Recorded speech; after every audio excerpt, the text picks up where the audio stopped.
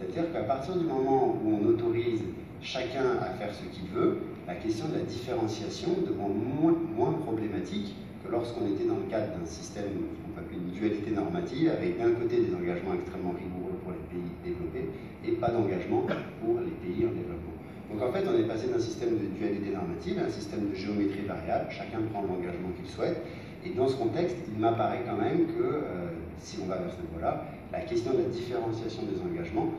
sera peut-être résolue de cette manière-là, un peu par la bande, en disant que chacun va être autorisé à faire euh, ce qu'il veut. En revanche, ça c'est uniquement l'application du principe dans le domaine de l'atténuation, et à d'autres domaines, par exemple sur les questions du financement, où ça reste encore euh, ça reste problématique.